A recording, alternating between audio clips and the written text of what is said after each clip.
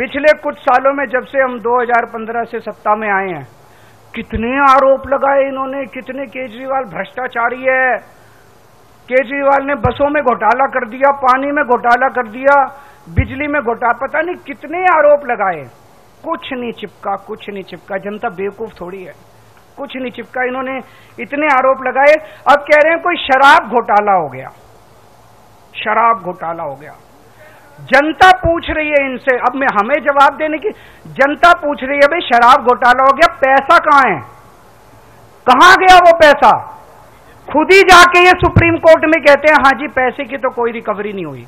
तो क्या हवा में हो गया? क्या शराब घोटाला? कहीं बाकी रेड वेड मारते हैं, ये कहीं नोटों की गड्डियाँ मिलती हैं, कहीं ज्वेलरी मिलती है, यहाँ तो कुछ भी नहीं मिला।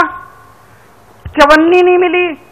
कहते हैं, सौ करोड़ का घोटाला हो गया, हज़ार करोड़ का, हज़ार रुपए भी नहीं मिले, सौ रुपए भी नहीं मिले। कहाँ गए सारे पैसे? बिल्कुल फर्जी केस इन्होंने बना बना के हमारे लोगों को गिरफ़्तार किया।